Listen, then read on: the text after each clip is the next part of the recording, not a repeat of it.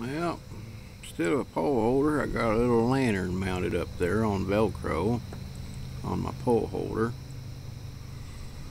And a couple of fishing poles out, and you can't see them, but I got a couple of jugs out there with some battery operated lights. Hopefully they'll be reusable.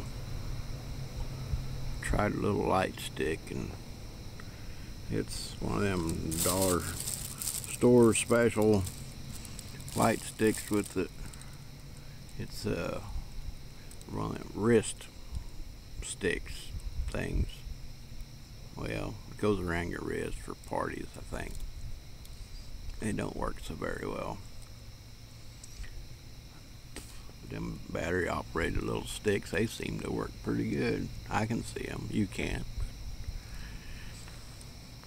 might have something to do with being dark.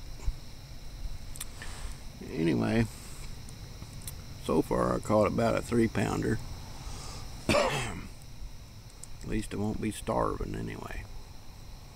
Well until we catch something here we go.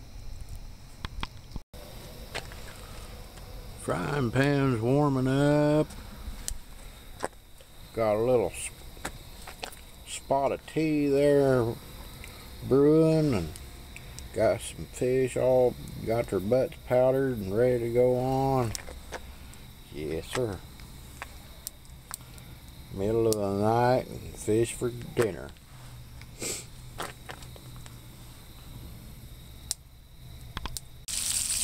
Gotta get a picture of this while it's cooking because it don't last very long when I take it off the fire for some reason.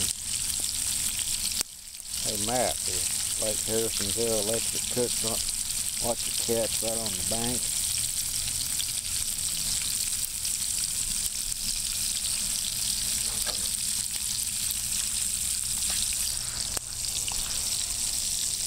That's all that's left from the first frying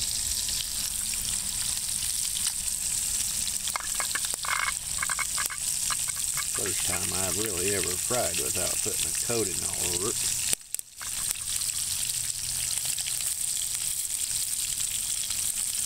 Cajun seasoning and my golly, it's not being too bad stuff.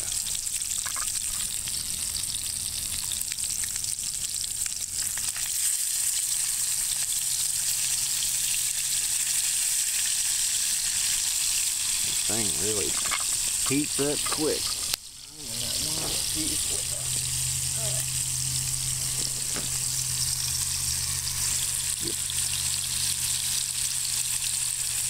It won't take very long. It ain't very thick. I can't get up from behind this thing. There. I'll heat me up some more tea after I get done eating and gotta pull out in the water and I may go I may go fish for a while longer before I divide up my fire here. Hate to waste a perfectly good fire. It's a little foggy out tonight.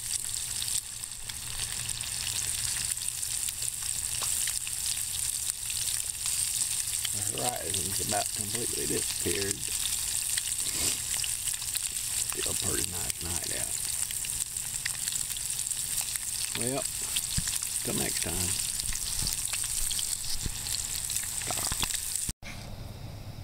This here's the end result.